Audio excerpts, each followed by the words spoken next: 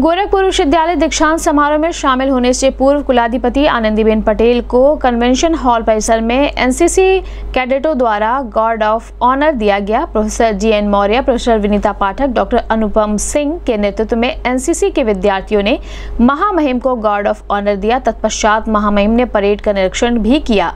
गौरतलब है कि एक प्रोटोकॉल के तहत वीवीआईपी और वीआईपी को गार्ड ऑफ़ ऑनर दिया जाता है।